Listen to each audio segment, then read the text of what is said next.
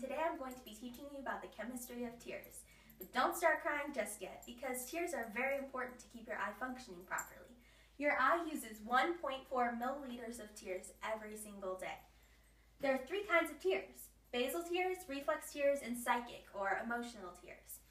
Basal tears are the kinds that lubricate the cornea in your eye, and they're the kind that your eye uses every single day. The second kind, reflex tears, are used by the eye to fight foreign chemicals, like the chemicals that your eye is exposed to when you cut an onion.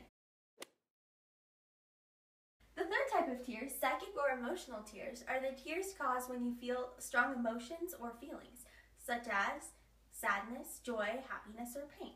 So altogether then, when we look at the three types of tears, it makes sense why you might cry when you are cutting an onion or when you're really happy. You aren't sad or happy about cutting the onion. It's just your eye's response to the chemicals from the onion.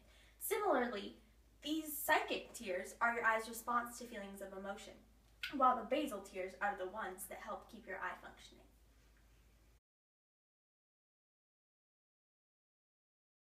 So now, let's talk about some of the main components of tears.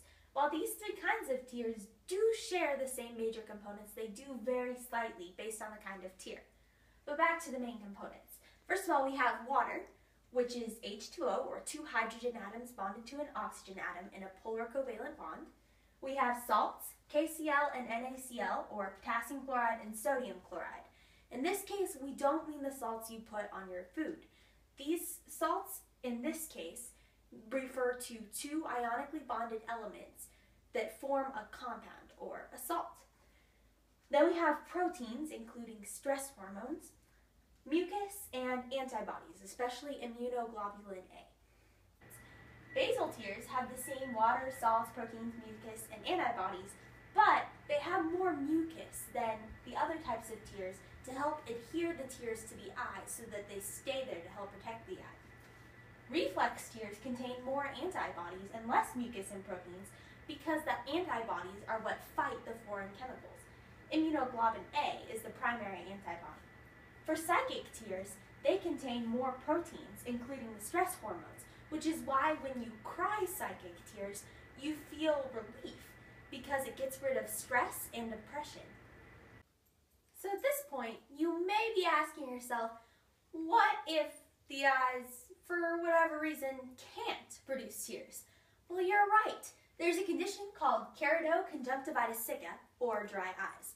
In this condition, People have limited tear production, resulting in dryness or irritation of the eyes. A common treatment for dry eyes is artificial tears, and while the main components of artificial tears vary based on the brand or type of artificial tears, these are the three main components. For polyvinyl alcohol, it's two carbons, four hydrogen, and an oxygen atom bonded together.